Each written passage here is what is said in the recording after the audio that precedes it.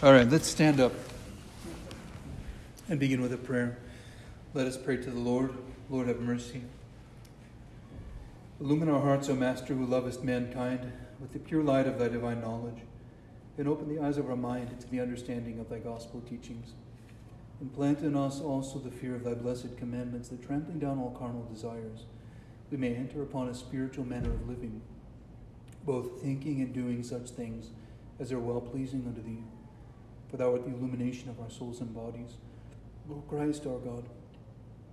And unto thee we ascribe glory together with thine unoriginate Father and thine all holy and good and life giving Spirit, thou and ever and unto ages of ages. Amen. Christ is in our midst. He is and ever shall be. Amen. Thank you. Okay, there's no one online, so I'm going to close out the meeting. All right. So I thought I've been taking notes as I've been reading different books. Some of you know this that as I read through different spiritual books, I'll mark my readings like with a with an asterisk if there's a a quote, a, you might call it a quotable quote. Not just a good one or something, but something that I might want to use in the spiritual counsel that I give to people or in a homily or that I want to reread. Or that's something that's just particularly profound or powerful. And I've been slowly collecting quotes from different books that I've been reading. And then what I can do, I don't always do it, but if I'm ever waiting somewhere in a line or something like that, rather than pulling my phone out, you know, to look at the phone, I'll pull out my little notebook that I have quotes written in into, and got a little ribbon, you know, marker in the page, and I just kind of work through the the quotes that I've been writing out. It is kind of tedious, you know, it takes time, but how do we how do we learn things? How do we learn mostly through repetition and through sl- slowing down a little bit. Especially in this information age, you know, there's so much information, especially so much orthodox information. I have an early, uh, early revelation as I was on my journey to orthodoxy. I would, you would always find me over by the church lending library. Because even about 17 years ago, when I started really taking my pursuit of orthodoxy seriously, there weren't nearly as many publications in English. I mean, maybe, I mean, maybe a quarter of what we have now. It's just been incredible to see the flourishing of translations and publications of books these days. And uh, so I would always be at the church lending library, grabbing books and having good conversations there. But then I, I thought, one day I was thinking about reading. Well, I heard one one Orthodox commentator say, as a warning, it's easy to get enchanted with the externals of the faith and to buy icons and to buy books and just to have them. And she said, it's uh, Frederica Mathewes-Green. She said, more icons, less praying, more books, less reading.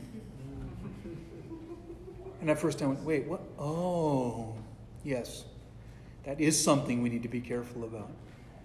You know, we have to be careful. You can have many icons of all these different saints, but are you following their example? Are you standing before the icon corner and taking time to pray?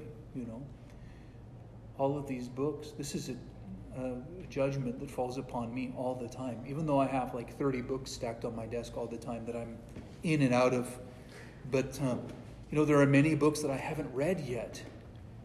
And I recently told myself, You're not buying any more books, Father, until you have read the majority of the books that you have on your shelf. And I have a pretty good library at home right now.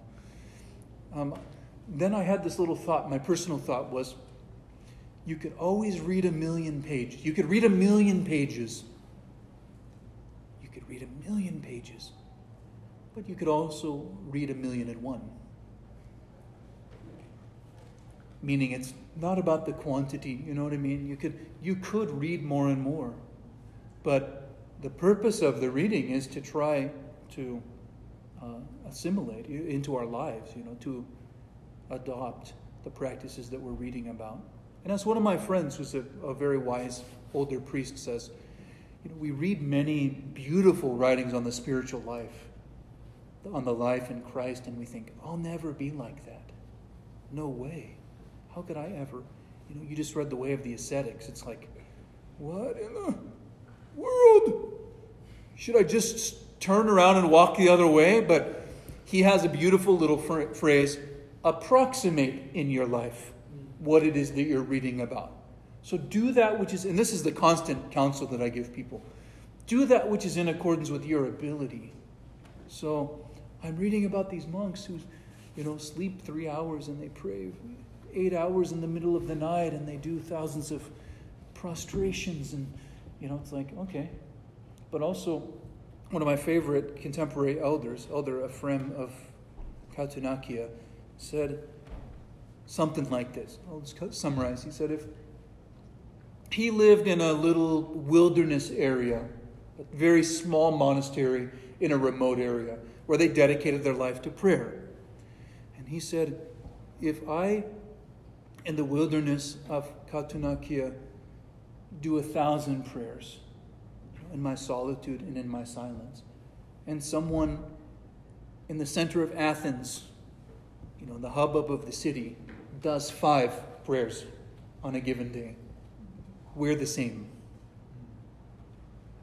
Do you understand that? He doesn't say, oh, they're deficient and they should be, you know, they should have become a monk instead. And no, that's not the point. Now, I, was, I think about this all the time because people struggle with the idea that we're reading all these books by monks and nuns and this, but we're not monks and nuns. Well, it's because they have the time to write books. You know, the people who are living in the world, who are in the church and in the world and raising families, very few of them have the time to, to, to sit down and write. You would, you would read a book about um, cardiovascular health by a doctor, you know, of, by a heart doctor who has experience operating on people and working with patients, not some guy who has opinions about, you know, a school teacher. You wouldn't read a book on cardiovascular health by a school teacher. And the same goes for the spiritual life. These are the, the, the practitioners of the inner life, and these are the people who are the experts. We could call them the doctors of, of the faith, you know, who have committed their life to learning and experiencing what it means to, um, to pursue healing. And then they, they write in order to convey something of what they've learned to us, something of the great mystery that's really beyond our comprehension. And that's another thing that's a little frustrating about the spiritual reading. You know, it's like it's always a little beyond, but that's good. Because we should never be satisfied in this spiritual life. Never. Otherwise, what you found is not God. There's a sense of satisfaction, a sense like, this is what I, wow, I've never experienced anything like this. And people, people get that little sense of satisfaction, especially if they kind of miraculously find orthodoxy and they didn't know it was there. And they're like, whoa, whoa, this exists. And then they come and they're kind of enchanted with orthodoxy, and then they have to deal with themselves oh, wait. You know the old saying, wherever I go, there I am? Yes. So the church is there, but if I go there, there I am too. And so the next wonderful crisis gets to take place your identity crisis. And like I was telling you, and I almost thought about giving a homily on this that the Christian life is just a constant identity crisis. You know, we talked about that this week. But, uh, you know, I have great conversations with people throughout the week, and it gives me, you know, some things to think about. And, um, but it really is because if you're entering into a, a, relationship, what we might call a relationship with the uncreated God, um, then you are you're confronted with what is the source of all of life and reality, but which that which is really beyond your you know your comprehension. And the more you come into contact with that, the more you enter into that great mystery. In a healthy way, you start to question, oh my God, who am I? What am I really? Saint Sophrony was giving a talk. Saint Sophrony founded a monastery in Essex, England. He was a he, he's Russian but lived on Mount Athos.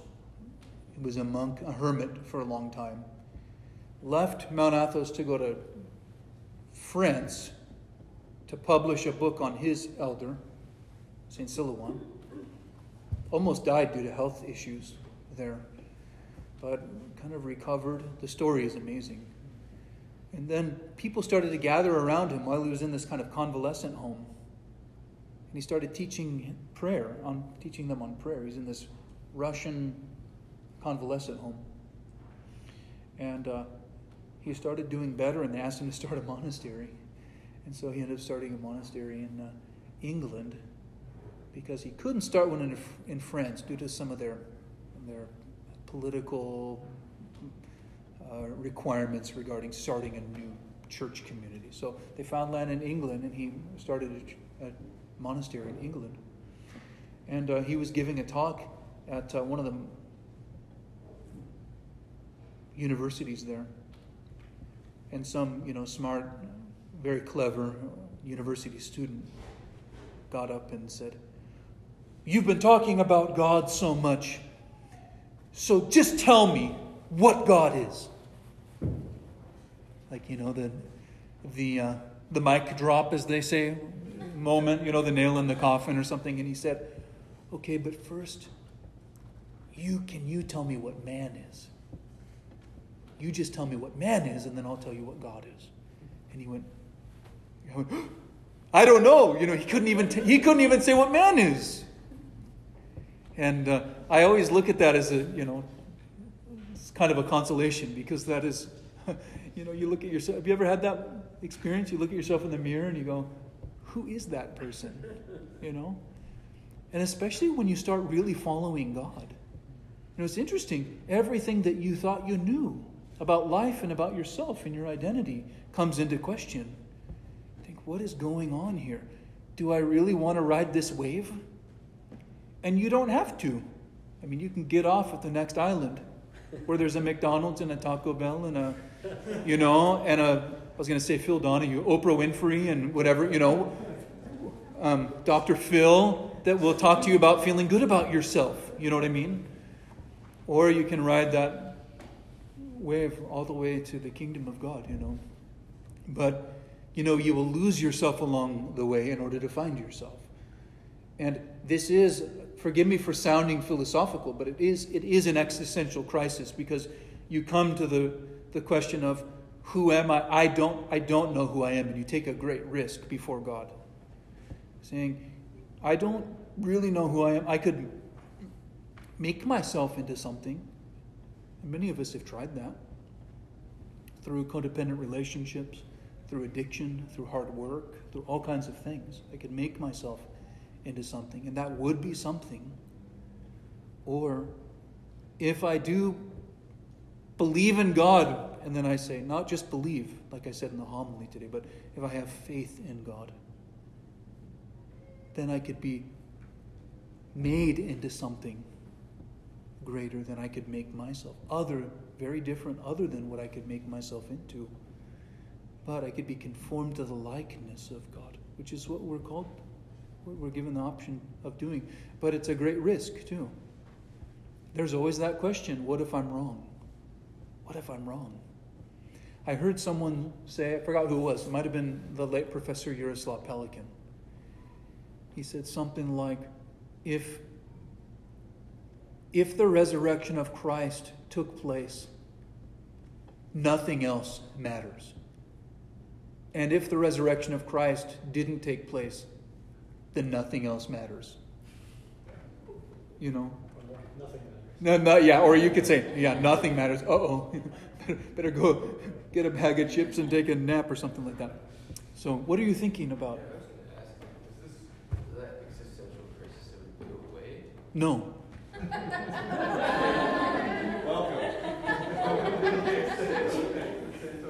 but it's a good one. I mean, that's the thing. I mean, it's not, you're not in a constant state of duress, though.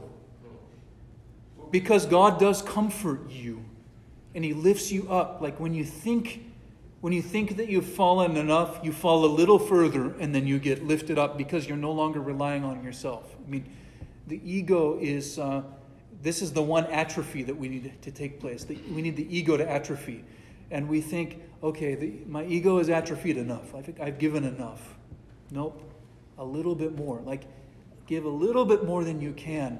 I guess I you know. question is like, what do you mean by an existential crisis? Because since a young age, I've, I guess, always thought about very Mhm. existential things. Yeah. Like aside from God, religion, and all that. So some people are more um, more inclined toward the mystical life, the mystery of life, and the unknowability of things. And so, you know, for some people, they they they they're not trying to define everything, but they're striving to experience things. And then their crisis is a little different. How do I know if my experiences are authentic?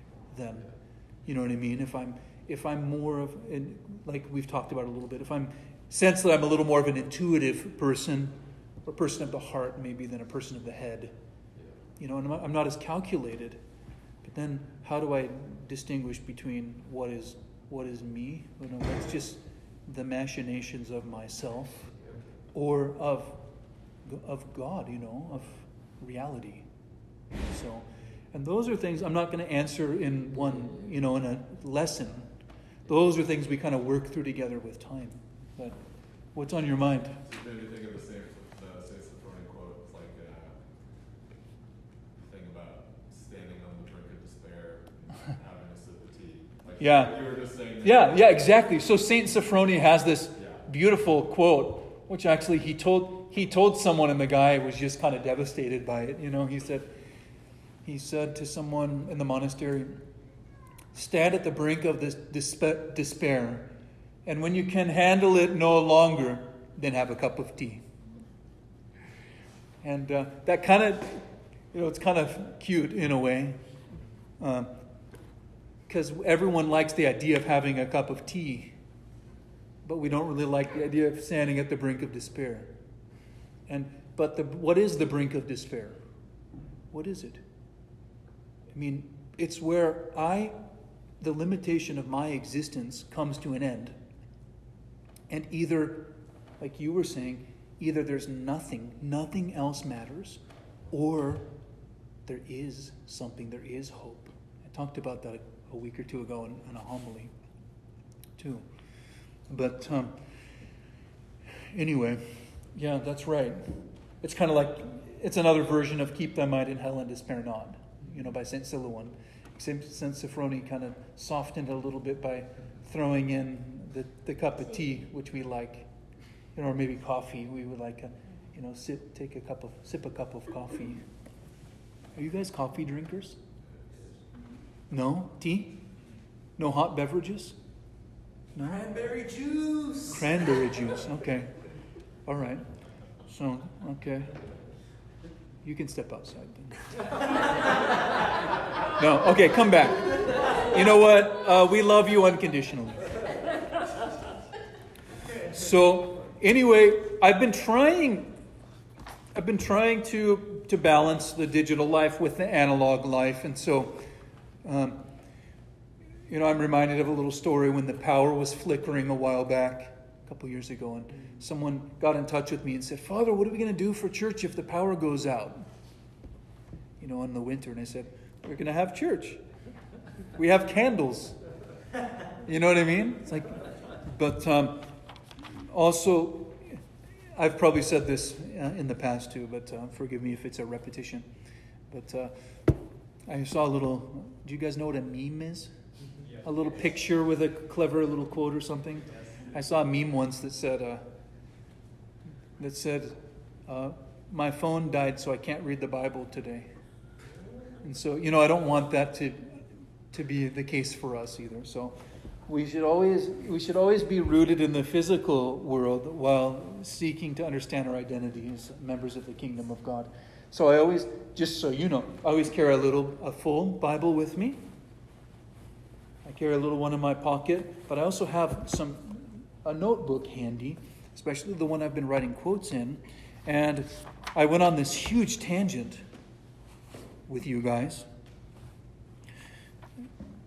because somehow, because I just wanted to share a couple quotes that I wrote down this week. I thought that might be kind of a nice thing for me to do with you on occasion as, as I'm writing some quotes down and things, maybe for your edification and my reinforcement. Um, and, you know, I have a pen. I have this real, talk about an existential crisis. I don't want to write in pen because I don't want what I write down to be permanent in any way for some reason. I just realized, like, I'm going to come and go, and so the notes on my, the pages of my notebooks will come and go, and I'm, I'm not hope, I don't hope that like some people, you know, in 2,000 years are going to find my notebook and say, this is what people were like in Brier, Washington, or something like that. so I write, I write in pencil, and then also I can erase, you know, make corrections as I go. But um, a couple of a couple of quotations. Let me see. Oh, and this is where it gets a little complicated. I have two notebooks. I have one kind of for my everyday little. I write down notes from daily Bible reading and uh, things like that, or little random thoughts. Things that I'm that I not, I won't necessarily go back to to you know to to quote in a homily or something like that, but just a way of processing what I'm experiencing on any given day. And uh, anyway, a couple things that came up in the reading. I was reading about uh, Elder Moses of Optina a Russian Orthodox monastery. And I, I wrote this down. It was said of Elder Moses of Optina, he wasn't very talkative, that when he had l- listened to someone speak, he often responded with an eloquent silence. Eloquent silence. I love that. And when he spoke, his words were intentional. So I th- that even that term eloquent silence, I thought, wow, that is something that I can aspire toward. An eloquent silence. A lot of times when we're silence, silent, we're stonewalling. Have you ever ever heard that term? I'm not going to say anything. Um, rather than an eloquent silence, which is one where you pause and decide whether or not something needs to be said through prayer. You know, pause and say, at least mentally, Lord Jesus Christ, Son of God, have mercy on me. And sometimes then the next word is, so shut up. Or, okay, you need to speak a word, you know, of kindness, of gentleness. He's the one that I read um, who had that line about attending Orthros and orth- coming, coming to Orthros being an offering of yourself, and then the liturgy being Christ's offering of himself. And I thought that was very beautiful. And then I'll read a couple of quotes, and then we'll actually get into our, our subject matter. Because catechism is not supposed to be about me just uh, talking. Yeah, just a sec.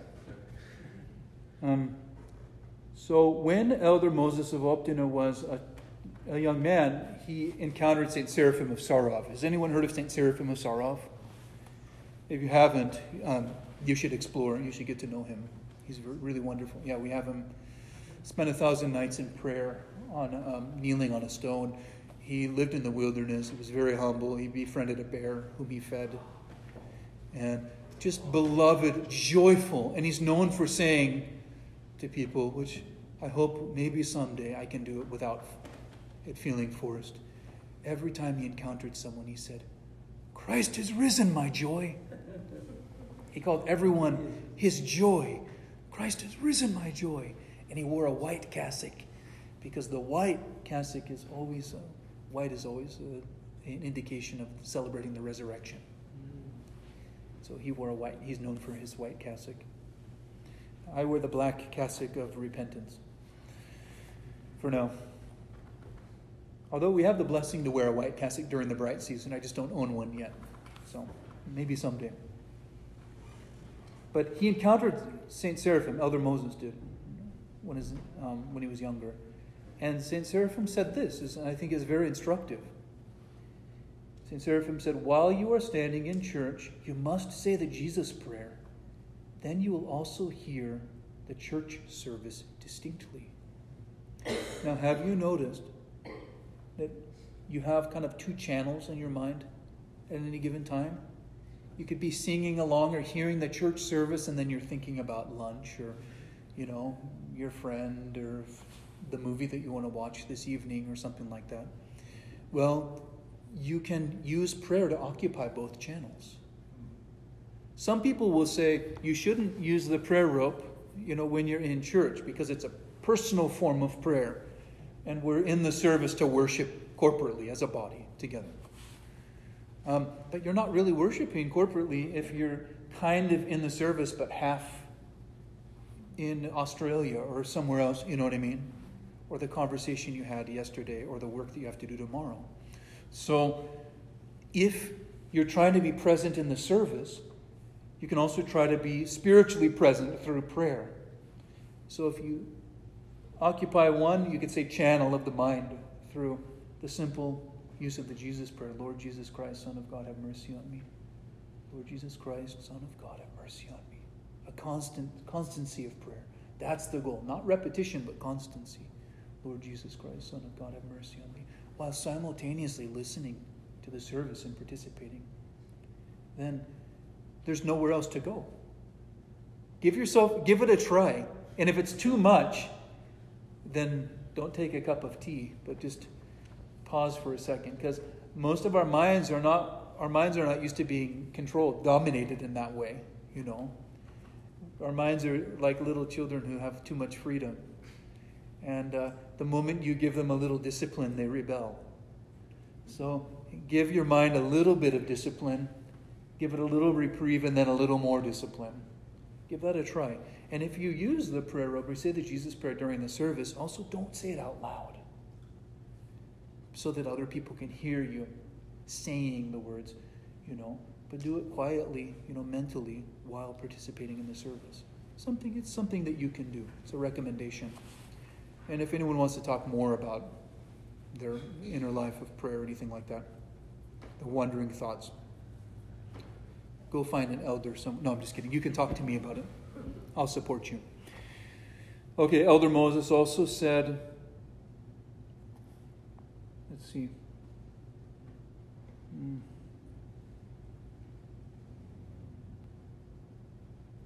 They lived so simply and gratefully. They only had what they received, what they were given. You know, when they like he, he started by living as a a monk in the wilderness. So sometimes they would run out of certain things. What what a crisis it is when you run out of margarine or olive oil or butter at home. You know, have you ever had that? We can't have, there's nothing to eat now. We're out of margarine or something like that, you know. And he said something so sweet and simple. He said, when it happened that we ran short, we would eat our food without oil, valuing spiritual freedom and stillness above all. I love just little little bits of sim- simple wisdom like that are to be found. You know, this is not highfalutin noetic theoria, as we would say, like you know, the third heaven or something like that. This is people who are just saying, God will be sufficient for me then. If rather than having a an unnecessary crisis, you know, then God will be my portion and I'll be thankful for what I have. And then when He provides the oil, or when I have time to go to the store tomorrow or something like that, then it'll be okay. But no one can deprive you or any of us of prayer. That's one thing that no one can take away from you. Someone could walk, march into your home and take all the margarine out of your refrigerator, or the butter, or the whatever you like. And you could say, hmm, that's really sad. I was planning on using that tonight. But I'm still going to say my prayers tonight. You know what I mean? They say, oh, take your prayer book. Okay, I have some prayers memorized. You know what I mean? Like, some, there is something that cannot be taken away from you. And actually, if anyone were to march into your home and try to take your physical things away, whatever your possessions are, um, it could actually enhance your prayer. I don't, I, I don't hope that that happens to anyone. I don't want you to go through that kind of crisis.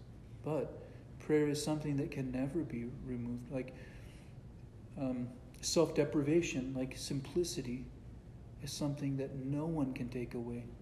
People can't force decadence upon you.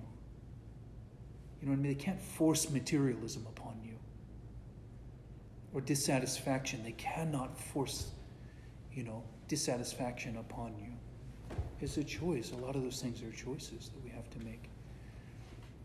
But they also cannot take God away from you. That's what we give away. We give away when we don't have what has made us so comfortable and we forget. We forget what's most important, what's most needful. It's very important to think about. Anyway, all from just one little, you know, half sentence quote that I have in my little notebook here. So there's so much wisdom. You know, he who has ears to hear, let him hear. You know, this is what we should be longing for, that we have ears to hear. And not only to hear, but to, uh, to receive, you know, the words, the wisdom that's being spoken to us through the scriptures and the lives of people who have taken the teaching of the scripture and the church seriously and applied it to their lives. And so that's why we do spiritual reading and um, writing quotes down and quoting so much, you know, so often. So anyway, I just wanted to share some things with you. Uh, you had a Yeah, it's more about like the when you're saying, I guess when you're in prayer, rather like just don't say anything. when you say what? Uh, when you're talking about when you kind of stay silent or you choose to either say something or not say anything. Mhm. Choose say like gentle or kind words. And I was wondering about what you how you define kind in this case. Because oftentimes I feel like saying the right thing isn't necessarily the important one.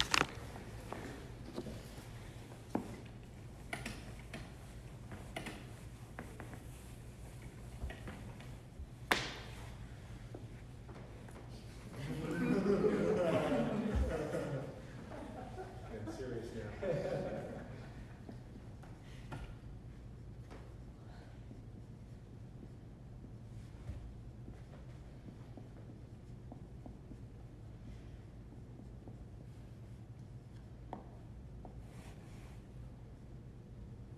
I'm writing on the whiteboard. For the, I'm recording our session for people who can't be here, but do the least selfish thing. Or you could say, say the least selfish thing. And this is something that requires practice. You know? So being kind is being less selfish, you could say. I don't think most of us know how to be selfless, but we can be less selfish. You know what I mean? And if you become selfless, then you then you won't know whether or not you're being selfless. Because it won't matter. Does that make sense to you? And that's an advanced that's an advanced state of being that very few people really attain. But we can do the least selfish thing. Anyone really actually take Um, that's you know it. We believe that it's possible. You know, but anyone who has attained that level of selflessness would never claim it. So, you know, I think of Saint Paisios. You know, um, you don't you, you probably haven't read about him yet, but the time will come. You know, eventually there are a lot of people to get to know over the you know in the in the days to come, and uh, you know I think he got close. I mean, a lot of the saints, Saint Silouan, you know. Um, I mean, I, I go to a lot of contemporary people because we have lots of their writings and I've had a lot of exposure to them. But uh, I do believe it is possible. But again, no one who has attained that would ever claim that they had. They would just they would just attain they would claim their own imperfection and the perfection of Christ. And that's why the, the church the church validates the holiness of people. It's not like, you know, um, you're, you're right by the icon of St. Herman. It's not like St. Herman said, ah, well, I know I'm a saint now. You know, he's like, he says, he, oh, I, what's that beautiful quote by St. Herman? I don't remember. Oh, I don't know. I mean, just a simple. It's like uh, something about every every breath being given to God. You know, I, I'll have to look it up and send it to you guys, or quote it next time. But you know, he would just say, just God is everything. You know, and the people would say, "Wow, he became transparent to the love of God." Wasn't that like how he kind of ministered to the local people too? Was they would go outside and open their mouths to the sun in the morning or something like that, and he talked about like the breath of God being in them. Is, am I totally off? I don't know. I'm not familiar with that one. But but he did meet the natives with their you know he found the goodness Yeah. in what they believed in he said what you're aiming for can be fulfilled in this god who Yeah. revealed himself as christ and you know what i mean and gives the, the gift of the holy spirit so he didn't go in and say oh you're all wrong about everything and you know um, pagans or something like that you know he was sensitive to what they were looking for and he saw christ as the fulfillment of what it is that, that they were aiming for. Hmm. And then can correct the you know correct the the, the incorrect misunderstandings with time but through gaining of trust. But saint herman of alaska there's a really incredible book. If anyone's interested in, in orthodoxy in america there is a really neat book it's a little historical but it's also kind of it's kind of a kind of a historical book but also there are writings of different orthodox missionaries who came into alaska writings of saints. And uh, i think it's a really good book. It's called orthodox alaska. Orthodox alaska. Has anyone been to alaska have you seen orthodox churches around in alaska there are quite a few up there by Father Michael. Father Michael. Oleksa. Not Oleska, but Oleksa. You picture like the letter X, but it's K S A. Father Michael Oleksa, and we, we have it in our bookstore downstairs. And there are little le- like letters and quotes from interactions with St. Herman of Alaska. It's a really precious book if you want to learn about how Orthodoxy came to the United States through immigration, you know, from, from Europe and people who were fleeing persecution and seeking success and things like that. But also missionaries came uh, through Russia, Siberia, around into Alaska. And that's a long, long story that I could go into, but I don't think I have time to do it right now. But uh, you'll, you would learn some of the best source material on um, St. Herman of Alaska. And there are books about St. Herman. I can write his name down too, if, uh, if you're interested. We have his icon um, painted by our iconographer up on the upper left hand side of the church, on the other side of the, the bier. It's called the B I E R. St. Herman of Alaska. He lived on Spruce Island which is a little, little tiny island, like I don't know, it's like 17 miles across or something like that. Um, okay. Just really quick, can I ask one more question about the selfless thing? Huh? Just really quick, I didn't really explain, but do you think it's possible that a person that achieved that level of selflessness would not, not that they wouldn't claim to, but simply wouldn't know They they wouldn't know. their own selflessness to? I would say like like St. Paul, I claim to know nothing but Christ and Christ crucified. They would know this is what they know. They've come to know the love of God. And that's what they know more than some subjective knowledge. The scales have tipped. And an interesting thing about coming to the knowledge of God is that you become more acutely aware of the, the meaning and purpose of creation, too, of the created world, and then of what is contra natural, you would say, in the people you encounter. And through having known Christ and Christ crucified, and loving the world as God's creation, you start to love people as those created in God's image. And then there's, there's a true intuition that takes place, where people like St. Paisios and St. Porphyrios, you know, contemporary saints, would say, a person would come up to me and I would know what was wrong with them. But I wouldn't tell them about it without their permission. Which is different than different different than what like gurus and swamis and you know people who are doing mind control would do. But they would they would only use that actual true intuition for the benefit of another person when the person desired it, desired to receive that love. There's a book called The Gurus, the Young Man, and Elder Paisios that you might find interesting in that regard. I'll write it on the board.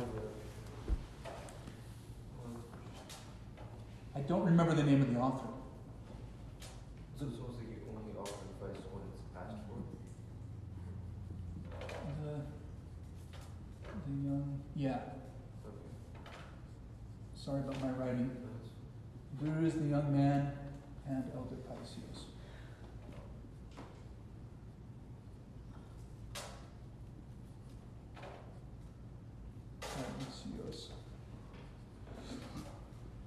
I think the author's last name is Farasiotis. Uh, because it's, I think it's a pseudonym because he's from Farasa, from the, where St. Paisios came from. Uh, but I, I don't remember exactly. But if you. Is that right? Yeah.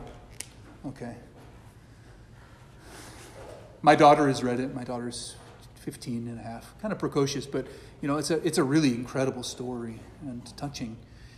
And it does answer some of the questions that people have. Like, you're getting into all this mysticism and orthodoxy. Well, what about Eastern mystics? About their approach to spirituality? And this book addresses some of that. And then, actually, there's one. Have you ever read Father Damascene's book, Christ the Eternal? Oh,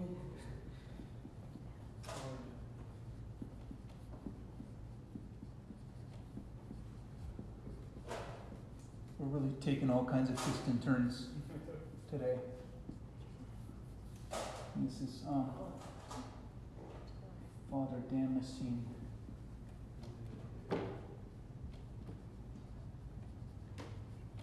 Christensen is his name. Uh, I don't know if it's E-N or Owen. But uh, anyway, anyone who's interested in these kinds of things, check. There we go. Do we have time to get into the birth and mission of the church? Oh, I don't know. Should I talk about other things instead? What's that? Let's see, how long is this uh, section? Let me look really quick.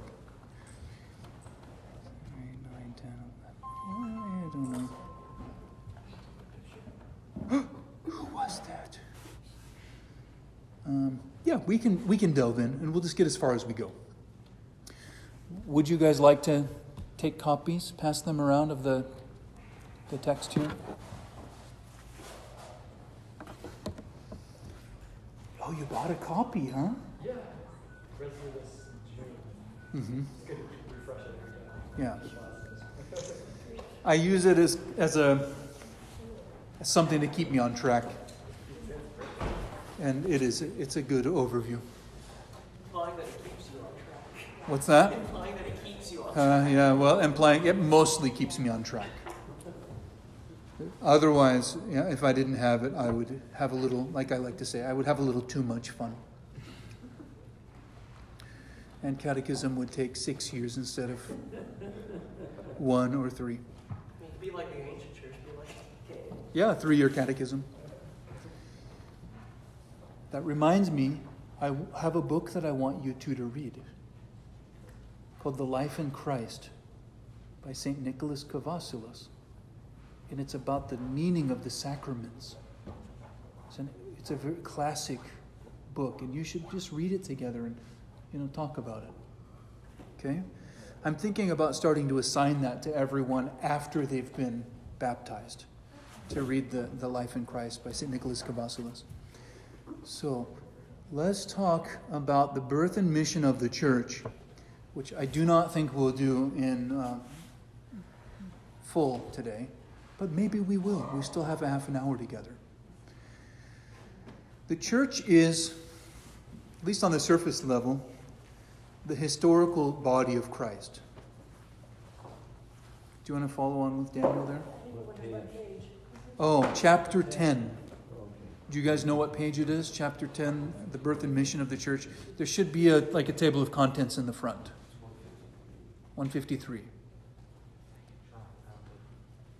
And again, I don't know if having the book in front of you is helpful at all. It might be just more annoying because because I, I read a little bit and comment a little bit, and, um, but it gives you something to look at rather than my mug. So the church is the historical body of Christ whose mission is to manifest Christ's loving presence to the whole world. Before his passion, Christ promised his disciples that he would not leave them comfortless in John 14. What is Christ's passion, by the way? What is what does that word passion mean? Physical?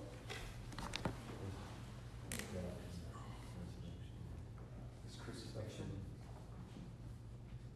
You guys don't know. That was all the The outpouring. worldliness. Suffering. Passion, pathos, the Greek word means um, suffering. Oh, what is it? How do you know, like that, or is it an omega? I think it is. Anyway, pathos, like from from which we get the word pathology. So, um, so his passion, his, and some of you were touching on it, like his self giving, his pouring out of himself. And, but uh, so he was getting the disciples to, to prepare themselves for what was to come so that they would not lose hope when they saw him crucified.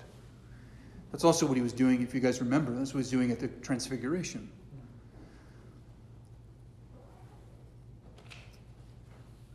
So he also gave them this promise that he would send another comforter to them. He promised to send the Holy Spirit, who would teach the disciples all things and bring to remembrance all the things which Jesus had taught. This is it is the Holy Spirit who unites us with the risen and ascended Christ. Christianity is therefore not simply a philosophy or of life or a set of rules to follow, as I like to tell people, that would be too easy to just have a philosophy or a set of rules to follow. It's a living relationship with Christ Himself in the Holy Spirit. This relationship is the life in the church.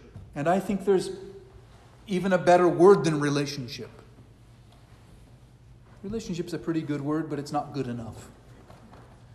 So if I wrote my own catechism book, I've thought about taking this book and just kind of editing it however I want, but I do that anyway as I'm speaking. Relationship. What do you think would be a better word? Union. Ooh, sorry. You give me the chills. Union or communion. Yeah, which communion just means union with. But being united, so being closer, closer than just uh, like proximity, you know, being you and I could be as close as possible. I could be giving you a really good bear hug, and I could know you really well. But that's not the same as being in communion. It's like I can smell, I can smell and touch and taste, you know, in a way, but until something enters into my being, then it becomes assimilated with me, becomes a part of who I am. And that's what happens. You know, the word, the word Holy Spirit, as I, I think I mentioned it before in a, one of the last sessions, recent session, the word pneuma in Greek is, is the word that we get spirit from. It means like breath. And so the breath of God is our life, even more so than the actual air that we breathe. And that makes this kind of, I don't know, what do I want to say, su- supra rational, makes it beyond merely human logic. So it's more than just a relationship, I would say, just to add to that comment there. Now, our Holy Fathers teach us that the persons of the Trinity always work together in concert. In particular, the Son and the Spirit complement one another as they accomplish the will of the Father. And that's why St. Irenaeus referred to them as the two hands of God. God spoke the world into existence, and the Spirit hovered over the face of the waters. Genesis 1. God created man in his own image. Again, Genesis 1. And by his Spirit breathed into man the breath of life. Genesis 2. When for the salvation of mankind, the Word of God, Christ, the Word with a capital W, when the Word of God assumed our human nature, it was the Holy Spirit who came upon the most pure Virgin and effected the incarnation.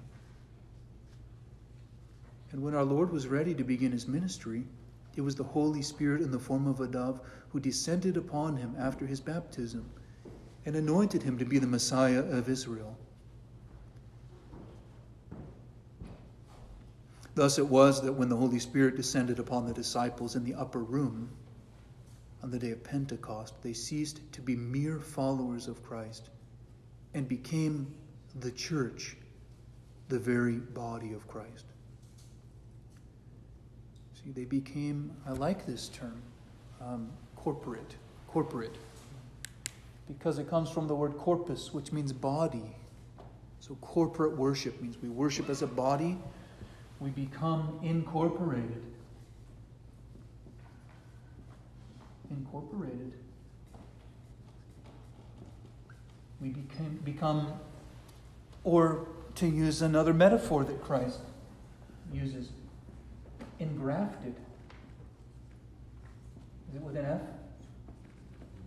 Engrafted into the living vine, which is Christ. You know, not just a parallel vine, engrafted into the vine that has Christ as its very life, its very source.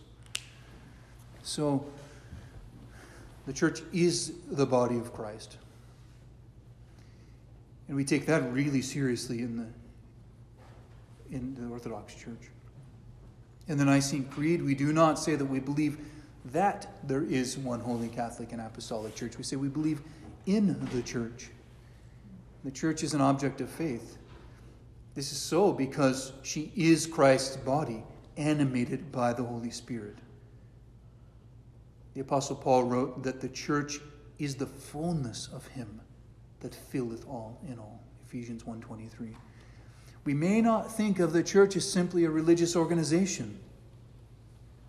It's not just an institution. Everyone thinks about, oh, you know, the institutional church, blah, blah, blah. You know? And I would like to say, this is something that kind of woke me up a little bit. You know, we all want to, we all hear what kind of what we want to hear. And uh, I was, you know, I wanted, I didn't want to believe in the institutional church because I, I thought that uh, it was like a bunch of old people with, you know, um, suits and ties who were kind of boring and telling people what to do, you know, growing up and playing music that was not that interesting. And so I thought, okay, what's the, you know, oh, that's the institutional church, a bunch of, you know, decrepit old men telling people what to do. But, uh, but then I realized, wait, what does the word insti- institution mean? It means uh, something that was instituted. So the body is, uh, the church is an institution in as much as it was instituted by Christ, by the Holy Spirit. Now we can corrupt that and turn it into a human institution, but it really is an institution in a way, in that it was instituted. So that word's not necessarily a bad word, it just depends on what we mean when we say that. You know, something worth thinking about.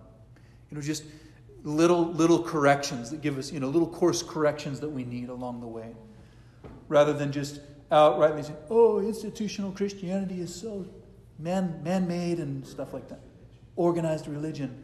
Well, you know, what I like to say, if, if you're looking for organized religion, don't become Orthodox then, because uh, we're not that organized. so, okay. Jesus did not promise us an organization. He promised to build his church, which would withstand the gates of hell. Nevertheless, we should not make the opposite mistake of thinking that the church is something so spiritual that she has no real existence in the world.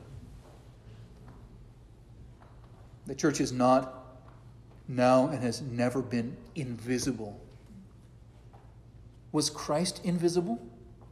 No you know, or was like one arm, you know, detached from another arm, or one of his legs was, was somehow his body was a visible unity? No. I mean, invisible unity? No. And so we see, we see the church as something that's real, a real living organism. And we confess that the church is apostolic. Apostolic. Do you guys know what that word apostolic means? Anyone? Apostles.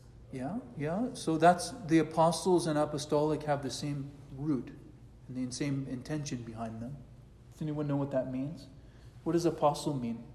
Theology student. You don't know? To send forth. Ha! Yeah.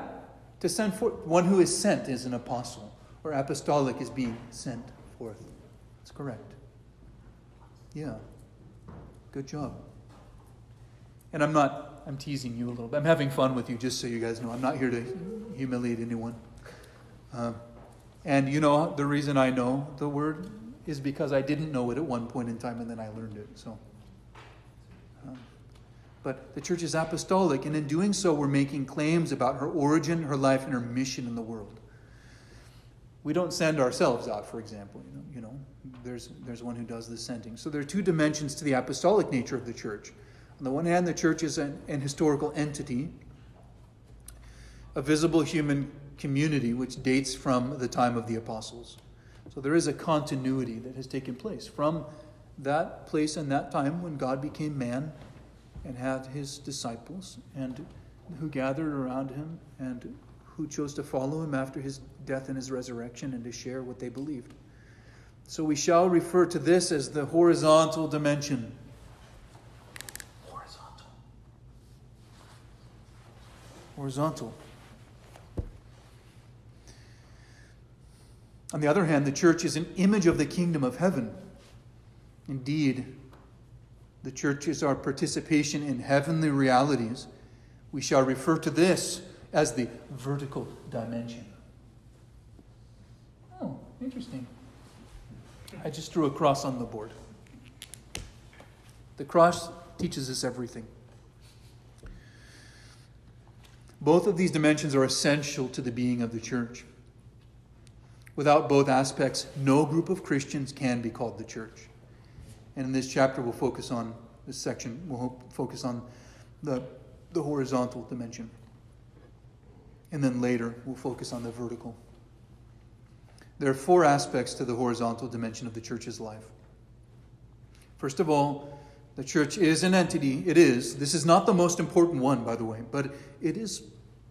It is uh, appealing to people, and it is, it is helpful that the church is an entity which exists in history. I'll, I'll write these on the board. Okay, it's a historical entity. When our Lord became incarnate, he assumed human nature in its entirety, and yet because humanity does not exist in the abstract, he became a single, concrete human being. He existed in space and time. So when we say that the church embraces the totality of the kingdom of heaven, we do not imply that she is invisible. Of course, the church did not limit, uh, is not limited to her visible historical face any more than Christ is limited to his visible human nature.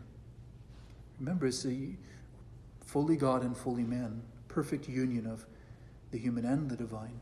Yet Christ did have a visible human nature that one could see and touch. One of my favorite passages is 1 John 1. 1 John 1 1 and following. Read it. I won't read it to you right now. It's a beautiful explanation of the incarnation, and I feel like it's the perfect um, defense or explanation. I don't even know, I don't think we need to defend it. Explanation, explanation for the use of icons in the church. 1 John 1. So I'll give you that's your task. Read 1 John in your Bible. It's epistle, the epistle of John, not the gospel of John. 1 John 1. Well, you should read the Gospel of John. You should read the gospel. What's that? I was saying, I wrote you should. Read You should, but I'm that's not what I'm assigning. I'm not assigning John 1. Although if you read John 1, you'll kind of get the same message too from the gospel. But anyway, so the church has a concrete visible nature. She is the historical apostolic community made up of real people and not merely some someone's idea of a perfect society. It's not just a as people love saying these days, not just ideological. Second, the church is founded precisely upon the historical apostles of Christ. So here's the apostolic.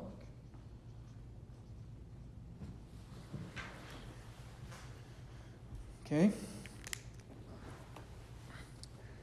Our Lord said to Peter in one of the most controversial passages in Christian history, he said to Peter, I say also unto thee that thou art Peter Petros, which means rock. Uh, and upon this rock I will build my church, and the gates of hell shall not prevail against it. Matthew 16, 18. And I won't get into the whole debate right now, because that would be another hour and a half. But furthermore, it was Peter and later to the other apostles that Christ gave the keys to the kingdom of heaven and the authority to remit sins. And I will give unto thee the keys of the kingdoms from Matthew 6:19. I'll give unto thee the keys of the kingdom of heaven. Whatsoever thou shalt bind on earth shall be bound in heaven. Whatsoever thou shalt loose on earth shall be loosed in heaven. And whosoever sins you remit, they are remitted unto them. And whosoever sins you retain, they are retained.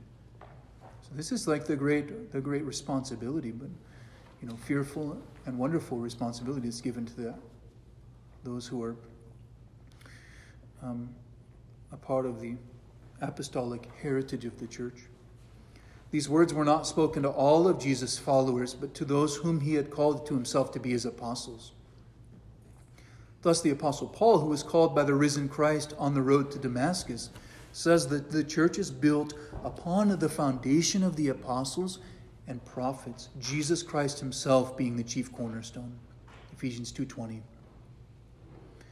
Because of this, the visible, the visible unity of the church throughout history is expressed in terms of continuity with the apostles. St. Clement, third bishop of Rome, wrote in the year AD 96 Our apostles also knew through our Lord Jesus Christ that there would be strife over the title of bishop. For this cause, therefore, since they had received perfect foreknowledge, they appointed those who have been already mentioned, and afterwards added the, the codicil that they should that if they should fall asleep, other approved men should succeed their ministry. Meaning, if someone to whom apostolic authority was given were to pass, then there should be others who continue that ministry. This makes sense because the church doesn't just didn't just die out with the death of the apostles. So, and we're talking first century of Christianity here, and a bishop bishop is a, a you know, a proper title that was given to leaders in the church from early on. Legitimate authority within the church is always derived from direct historical succession from the original apostles. This is called apostolic succession. Or, um, so apost- apostolicity is another, another word. Or apostolic succession. There's a direct continuity through uh, the laying on of hands and the bestowal of the Holy Spirit.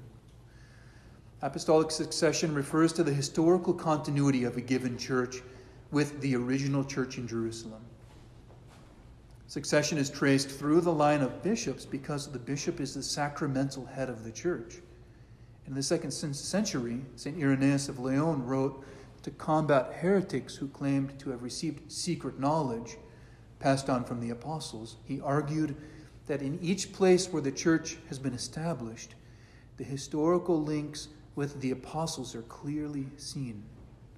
He says, those who wish to see the truth can observe in every church the tradition of the apostles made manifest in the whole world. We can enumerate those who were appointed bishops in the churches by the apostles and their successors down to our own day. Daniel, can you, um, can you go grab the list of bishops that's out in the narthex? You mean actual list? Yeah. Now, when did St. Irenaeus live, though? Um, Mid first millennium. I mean, like, what, three, four hundred? I don't remember.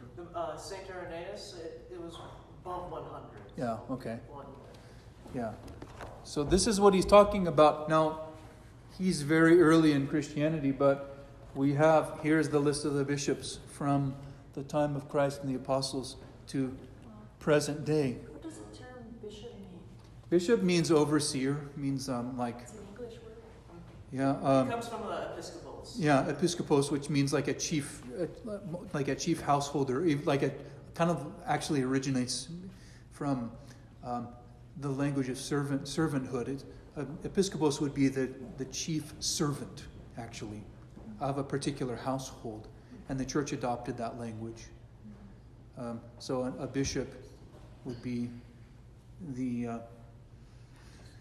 yeah, the lead, the servant of the servants of God, you know what I mean, to support and encourage them and to keep them, um, to help them preserve the, the faith. Where does the word? Pope mean, well, it comes from the word, this means um, papa, father, a Latin term, What is it? father, papa. Oh, I see. Just- said puffed up. No, yeah, puffed up, it might as well. but uh, if you want to look at this, I mean, this has this is the patriarchs of of the Church of Antioch, which we're a part of. You know, the continuity from St. Peter all the way to our current bishop, Patriarch John. So there's there's a there's an actual historical continuity that has taken, and there's an integrity. There's an integrity there, meaning there's there, it's an integral whole. You know what I mean? A Also one, of, also, one of your patriarchs of Antioch just so happens to be on that wall over there. I Yeah, that's right. Yes. that Saint. Ignatius of Antioch. So if anyone wants to see that, you know, we have it posted up in in the narthex in the entryway, and I think most people walk by and they, oh, there's some kind of little list of something there. Father, who's on, who's first on that list? St. Peter. St. Peter. So I thought it would be like uh, St. Paul, since uh, didn't he go to the church at Antioch? Did he establish that? Well, he, I mean, he was he died in Rome, but Oh, yeah. Anyway, we won't get into some of the details about the, you know, Well, the, also, the John, also, John was over there too. So you could say that all three of them, Peter, uh, Paul, and John, were And that's the thing. I mean, there was there was no claim to any like no territorial claim that any of the apostles held. They weren't trying to. They weren't having turf wars or anything like that. You know. Yeah, but you know what? Christianity spread like wildfire, though. It's pretty amazing. So, what has the church taught about Christ throughout the centuries?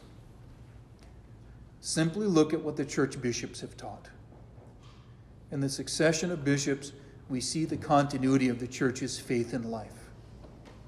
And we're going to end pretty soon. I think we're going to find a stopping point. We're going to cover the first two of the four uh, characteristics of the, of the church. Um, although, I don't know, our next paragraph takes us right into the third element. We still have nine minutes. So let's, okay, let's see what we can do.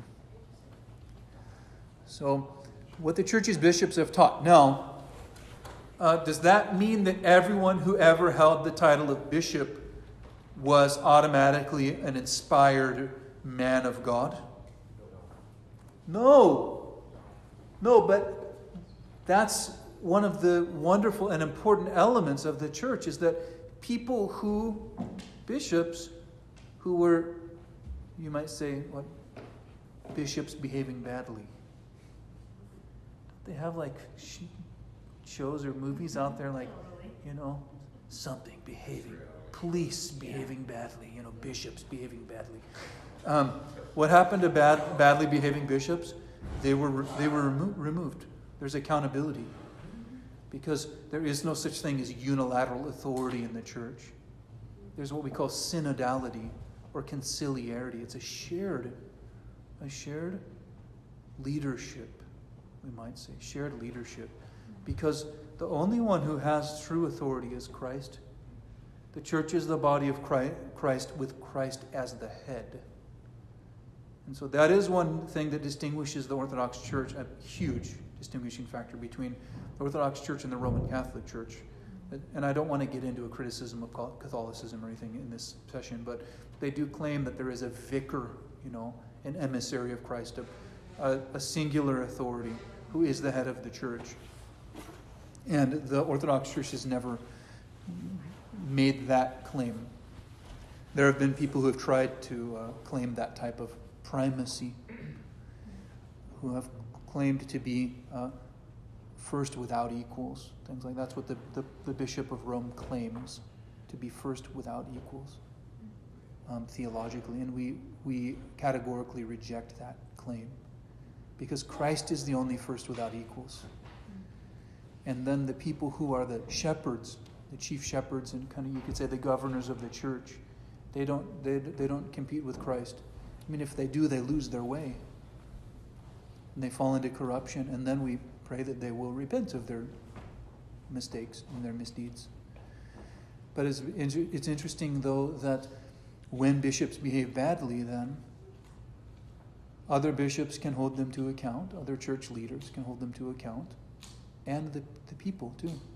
The laity, the people who make up the body of Christ. They can say, You're, you know, there's an old, old term, anaxios. you know, you're not worthy. You are not. Because what makes someone worthy is their commitment to the authority of Christ and not their own authority. And if someone claims that they have authority, even if they claim that that's the authority of Christ, but it's not consistent with the teaching of the church, then they've fallen into delusion. And they need to be willing to be corrected by the breath of the Holy Spirit who speaks through the church, not just through a person, again, even if that person claims to be charismatic and inspired, even if they have a really strong opinion. My conviction is this. And, they, and we say, no, that's not the consensus of the, that's not what the church believes. That's where schism takes place in the church, where people have broken away from the church. And that's actually the, the contemporary state of Christianity in the West, is just everyone wants to create their own version or be their own authority or develop an approach to Christianity based on what they what their conviction is. And there's a good intent behind it. There's a desire for something good, but it's divorced from the consensus of the church, you know, the, the original church. And a lot of people do it in ignorance because they don't know. They don't know yet. I always like to say yet. They don't know yet about orthodoxy. So that's part of our job is to lovingly, you know, share with people. They can't reject what they don't know. So anyway, well, let's conclude there for today. We'll conclude there and then we'll get into the other two aspects of the church's apostolic nature when we get together next week, and then we'll talk a little bit about missions and evangelism. I think that'll give us enough time to cover all of that. Let's conclude with a prayer together, and then I'll send you off with a little blessing that you, you have a blessed week. And I'm just going to keep reading this prayer for the acceptance of God's will by St. Philaret of Moscow at the conclusion of all of our sessions. Let us pray to the Lord. Lord, have mercy. O Lord, I know not what to ask of thee. Thou alone knowest what my true needs are. Thou lovest me more than I myself know how to love. Help me to see my real needs, which are concealed from me. I dare not ask for either a cross or a consolation. I can only wait on thee. My heart is open to thee. Visit and help me for thy great mercy's sake. Strike me and heal me, cast me down and raise me up. I worship in silence thy holy will and thine inscrutable ways. I offer myself as a sacrifice to thee. I put all my trust in thee. I have no other desire than to fulfill thy will. Teach me how to pray. Pray thou thyself within me. Amen. Through the prayers of our holy fathers, Lord Jesus Christ, our God, have mercy on us and save us. Amen. God bless you all. Go in peace. Thank you so much for being here today.